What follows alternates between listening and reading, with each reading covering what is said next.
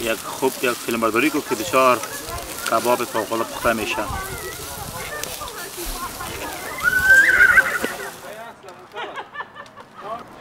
My name is Farouk Samim and I'm a member of the immigrant community in Ottawa and I have been living with my four children and wife for the past nine years.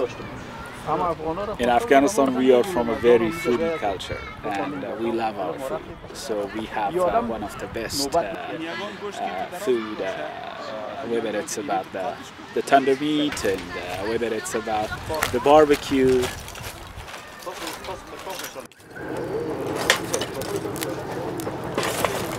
When we come to the park, uh, it's usually uh, uh, we, we make a big barbecue.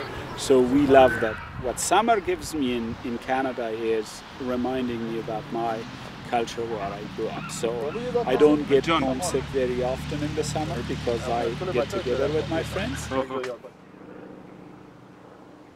We're very, very lucky living in Ottawa with a lot of space, a lot of lakes, a lot of beaches, and a lot of big parks. And uh, definitely we appreciate the space, and uh, that's what we do. We get together with families, we cook, uh, we, uh, we eat, we talk about different topics, and, uh, and uh, overall we enjoy life. And most of the immigrants here, let's say, let's talk about the immigrants. They are new, they are not very strong in terms of their economy, they don't have bigger houses. But in the summer, it's free everywhere. It's public park for everybody. It- they don't have to pay anything for it. They just bring their barbecue and their, their delicious food and enjoy. And, and uh, the best of everything is for children. You know. They play, they play soccer, they, they run. Many people might think that Afghanistan has been a conflict zone forever and they only get the news about Afghanistan from the media.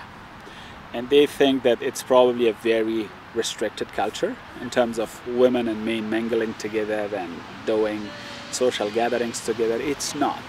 But, but it's also very common in, in the Afghan culture that uh, even families, to really enjoy uh, their social gatherings, sometimes women are comfortable with women, children are comfortable with children, and men are comfortable with men. So this is, I think, uh, a cultural practice in a lot of cultures.